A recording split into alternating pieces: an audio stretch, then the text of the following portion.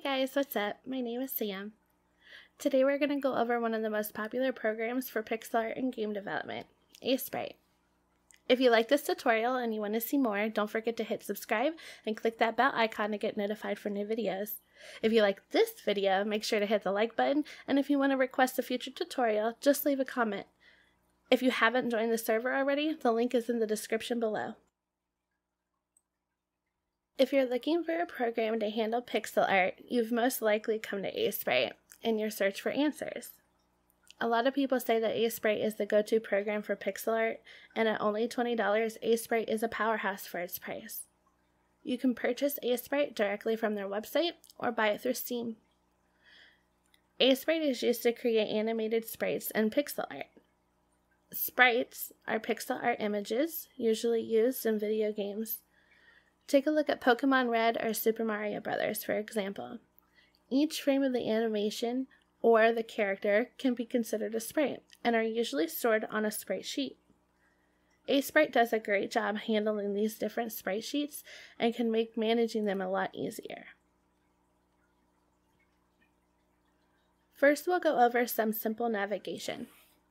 Let's start off by opening the program and clicking on New File. Here we can choose the width and height of our image and if our image is RGBA, grayscale, or indexed.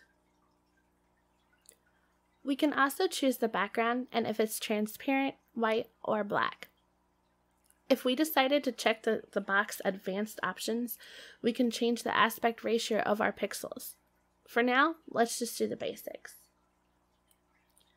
We'll use a 256 by 256 image with RGBA set as the color mode. I like to leave my background as transparent because we can always set a layer with a different color as the background later. When Aseprite creates the image, we can also choose our palette of colors on the left. Aseprite has great palette options, so let's choose one now. I usually like to use DB32, Game Boy, or Google UI. Once you click on the palette you want to use, you can click Load and then click the folder icon to close the box. If we want to zoom in on our image, we can use our scrolling wheel on our mouse. We can click our scrolling wheel in to pan around the canvas and use space or any other mouse buttons. Let's familiarize ourselves with some of the tools in Aseprite. We'll go over more tools in a later video. The pencil tool is probably your most used tool in Aseprite. The pencil tool allows you to draw on the canvas in Aseprite. You can get to it by selecting the pencil on the right hierarchy of tools or by using its keyboard shortcut by pressing B. We can also change the size of the tool in the top options, or by using Control and Scroll Wheel. If we scroll down, it will make the size of the tool we are using bigger. If we scroll up, it will make it smaller. We can also use two colors at once with the pencil tool. This allows for much faster drawing if you are using multiple colors. You can also use the right mouse button as an eraser. To change the colors of the pencil tool and use the right mouse button as an eraser, we go to the bottom left of Aseprite, where we have two color options available to, to us. We can simply change either of these to whatever color we like.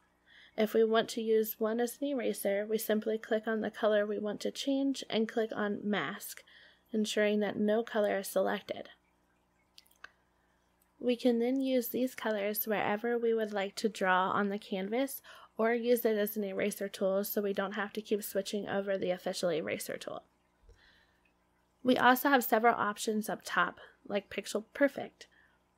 Enabling this function, you are able to draw much more cleanly. It removes a lot of unnecessary pixels and only keeps what is necessary. We also have a symmetry function where it allows you to draw symmetrically, either vertically or horizontally. You can also move the symmetry line indicated in blue by clicking and dragging this white box that is attached. Using the line tool, we can make straight and curved lines. Let's go over the standard line tool. You can select it by choosing it in the hierarchy on the right or by using the keyboard shortcut L. Once we have our line tool selected, we can draw straight clean lines anywhere we want to on the canvas. If we hold down shift while we use the line tool, we can snap the lines to perfect angles so that it is never jagged or weird or anyway. If we hold control while using the line tool, we can draw lines from the middle outwards, which comes in handy. We can also do both of these options at the same time. Using the curved line tool, which we can get in the right hierarchy of tools next to the line tool, or by pressing Shift plus L, we can draw curved lines now. Once we draw the lines, we then have the option to curve it at two different points.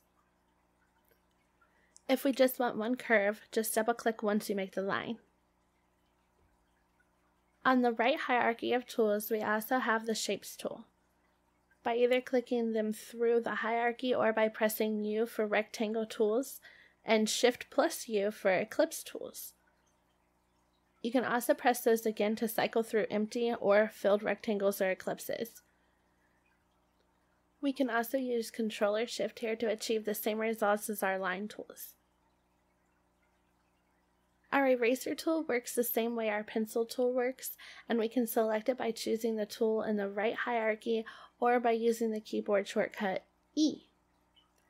It also has a nice feature where it uses the right bottom to replace your foreground color with your background color. The paint bucket tool is a solid tool in the Aseprite arsenal. We can again select it from the hierarchy or use the keyboard shortcut G. The tool is pretty self-explanatory, but there are some nice functions of the tool we should talk about. First off, you can use the contiguous option to allow it to replace every color on the canvas that you have used as a paint bucket. This helps when working with many large areas of different colors and when you need to change one entire color quickly.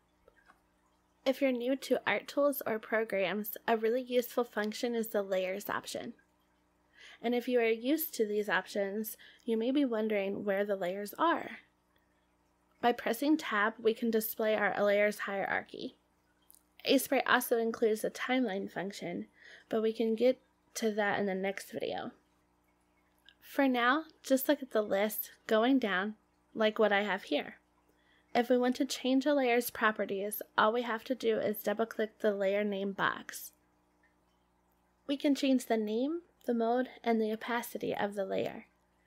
If we click on the eye eye icon next to the layer, we can toggle its visibility.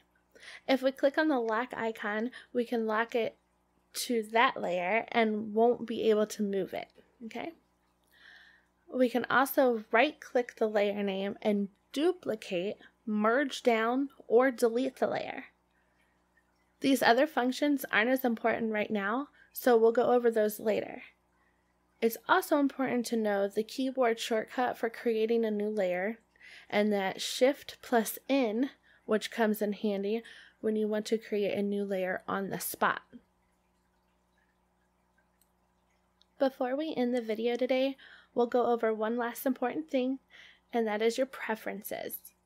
While there are many useful options in the preferences menu, there's one important option I would like to talk about, and that is the background. Sometimes, depending on your palette selection, some colors blend way too easily into the background. Also, sometimes we may need different sized squares for the art that we are working with. In the Background tab, we can change both of these. By choosing Size, we can change the size of the tiles in the background of Aseprite for our convenience. Also, we can change the colors so that we can easily see our palette if we have a lot of grays in our palette. You can hit the reset button to return these values to their original colors as well. That's all for this video today, everyone. If you like this video, make sure to hit the like button and leave a comment telling us what you think, or if you want to request a tutorial video for us to do next. Look out for our upcoming tutorials where we dive into some of the most popular game building engines on the market, including Unity, Unreal, and Godot. Don't forget to subscribe so you can see those videos when they come out. Also, if you've drawn something cool today using this tutorial, make sure to come share it with us on the server. The link is in the description. Have a great day, everyone!